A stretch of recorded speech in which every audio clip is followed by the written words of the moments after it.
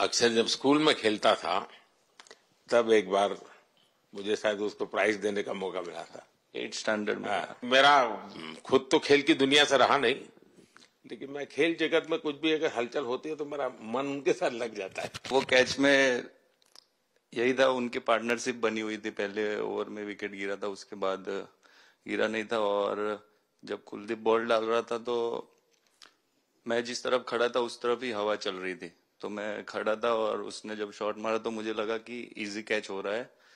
But वो हवा के साथ इतना तेज जाने लगा तो मैं पहले सोच रहा था मैं लेफ़्ट हैंड में पकड़ूँगा, लेकिन जब बॉल गया तो बोला, ये तो राइट हैंड पे जा रहा है। तो फिर जंप मैंने मारा उस टाइम पे और जब हाथ में इतना ज़ोर से आवाज़ आया उस टाइम पे मुझे कि तब मुझे रियलाइज़ हुआ कि हाथ में पकड़ लिया है मैंने और I think most of the time दस में से नौ बार छूट जाते हैं ऐसे कैच बट लकी था कि वर्ल्ड कप में इस टाइम पे जब uh, टीम को ज़रूरत थी तब uh, वो कैच पकड़ लिया मैंने। तो अमूल का दूध काम कर रहा है।